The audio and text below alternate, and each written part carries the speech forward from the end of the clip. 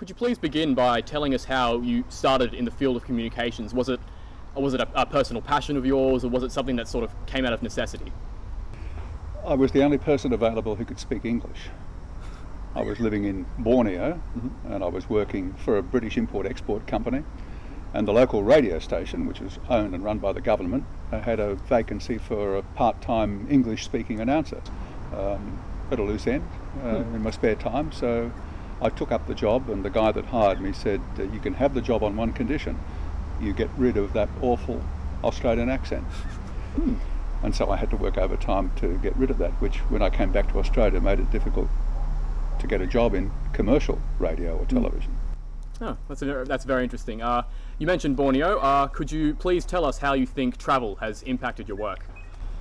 Well, travel's been a lot of my work. I mean, I've covered uh, eight Olympic Games, so I've been to a lot of countries and seen a lot of, of things which, you know, have broadened my knowledge. And I mean, I'd recommend to anybody, whether they're interested in communications or the media as a career, the best thing you can do in life is to travel. Travel is the ultimate. Everybody should do it. Well said. Uh, do you, when you made the leap from radio to television, what were some challenges you experienced? Like, how are they different, and how do you think it might have impacted your communicative practice? I worked in radio for 15 or 16 years, never wanted to work in television, but I was doing a job and not being paid commensurately for it in radio. And when I asked for the promotion and the increase in pay, they said no. So I thought, well, damn you. Uh, so I went out and hawked myself around other radio stations and just coincidentally went to two television stations just because I'd never been inside a TV station. And keep in mind, I was already 34 years of age at that time and had never been in a TV studio. But Channel 7 at that time required somebody to do sports reporting for the news. And sport had been what I, a large part of what I'd been doing in radio. And so they hired me. But it was a huge learning curve. So, uh, you've commentated in an extensive range of fields of entertainment like news broadcasting and sports.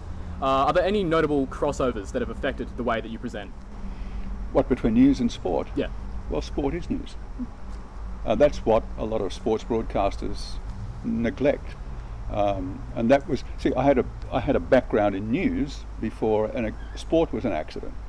Um, I was working at 2UE in Sydney as a reporter and newsreader, um, and I finished my shift one Saturday morning, breakfast news shift, and the guy that did the Saturday afternoon sports show called in sick, and they were running around in a panic like chooks with their heads chopped off, and I said, well, I'll do it. And they said, but do you know anything about sport? And I said, I went to a Catholic boys' boarding school. How can I not know about sport in sport? You see, people get carried away with, in sport, with the, the rules of the game and the technicalities of the game. But it's the people who make the stories. There is no story in a guy sitting in a car doing 300 kilometres per hour behind a helmet. You've got to get behind the helmet. You've got to get to the guy when he gets out of the car or before he gets into the car and get behind the scenes and talk about him as a human being. Sell the people and you sell the sport. Uh, leading on from that, could you maybe elaborate on how you personally deal with criticism of your work? Look, you get that, and I let it wash over me because I know in my own heart and in my own head that I'm doing the best and most honest job that I can do. And uh, one final uh, question. Could you give any advice for anyone looking to get into some sort of communications industry?